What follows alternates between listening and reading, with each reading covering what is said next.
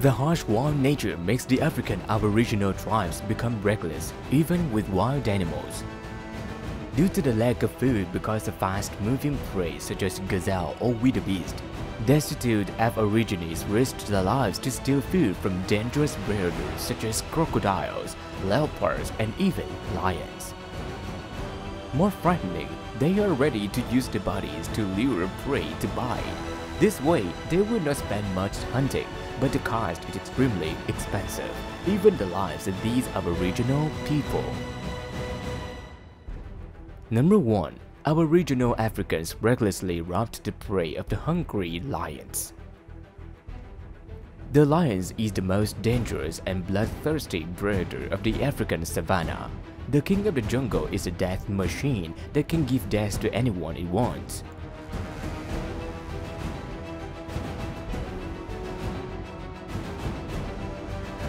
However, humans are still fearsome enemies and hold the key to their life and death on the Black Continent. Harsh wild nature threatens survival forced the African Aborigines to rob the prey of wild animals, especially lions to maintain life. This is a mortal battle because they can snatch succeeded the prey or become the lion's hearty meal in an instant. In this situation, with only weapons such as bows and arrows, the reckless aborigines took the prey of more than 15 hungry lions. The hungry lions have successfully hunted a large prey. They are celebrating together without knowing that there is danger lurking behind. The Aboriginal group, after discovering that the lions had just hunted delicious prey, immediately prepared bows and arrows, spears to attack these wild animals. Taking advantage when lions aren't paying attention, the Aboriginal group recklessly headed towards the party, holding weapons ready to fight to get the prey.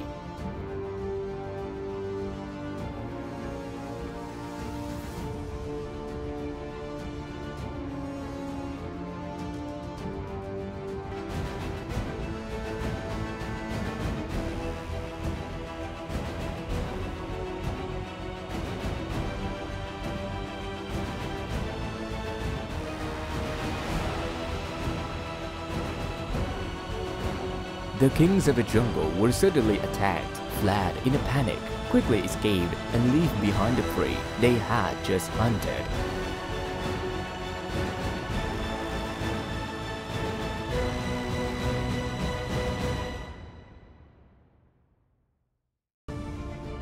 Number 2. African Aborigines use the leg to lure giant pythons.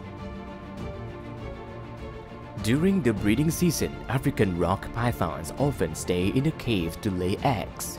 This is what makes them extremely aggressive and ready to attack intruders. However, the Aborigines of Africa took advantage of this to catch giant pythons. For example, in this situation, instead of using rabbits or mice to lure the giant pythons, the Bone Aborigines used their own feet to bait the notoriously brutal giant python. These Aborigines discovered the rock python lying in the cave. Immediately, they planned to hunt for large prey. A young man was sent as bait to lure the rock python.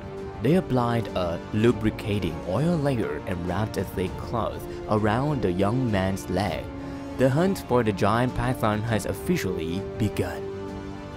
After a few minutes of baiting, the female python crawled out and swallowed the young man's leg. Quickly, other aborigines rushed in to drag the young man out of the hole and easily grabbed the prey. But this is an extremely reckless action because rock pythons are dangerous cold-blooded predators. When attacked, they are ready to strangle and swallow an adult in a few minutes. Number 3. Being blatantly robbed prey by African Aborigines, cheetahs held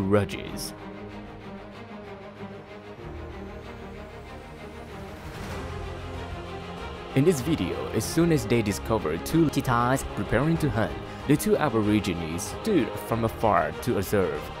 After a difficult hunt, two Tetons finally caught a Thompson antelope. However, when they started to enjoy the feast they had just hunted, the two Tetons were faced with another challenge, which was to protect the prey from the robbery of two Aboriginal Africans. These two Aboriginal people continuously agitated and attacked towards the two Tetons. The two Tetons also showed that the two Aboriginal people are no match for them.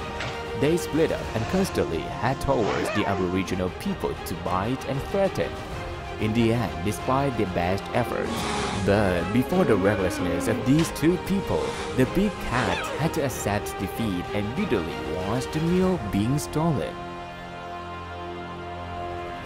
Number 4. Aboriginal Africans are very smart using monkeys to hunt wild boars. In the wild, boar hunting of the African Aboriginal, the cunning monkeys are always an effective and indispensable assistant. When released, they will cling to the back of the prey to reduce their running speed, and the rest is for the Aborigines to run after and use the net to catch the prey neatly.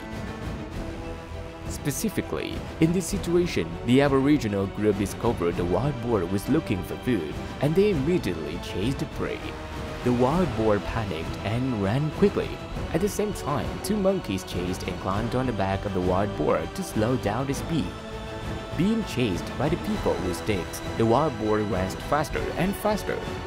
The chase was extremely intense. In the end, the Aboriginal group caught a wild boar. Number 5. A close-up of the Aboriginal robe hunting giant shark.